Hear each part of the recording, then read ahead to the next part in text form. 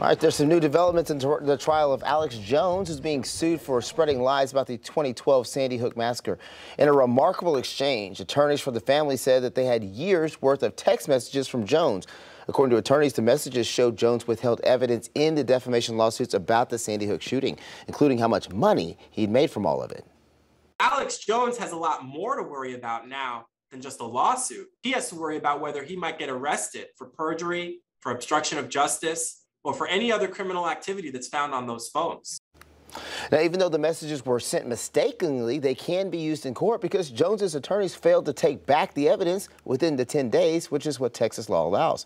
An attorney for the parents also said that the January 6th House committee has contacted them about Jones' messages, signaling that the committee may be looking to use Jones' conversations for its investigation as well.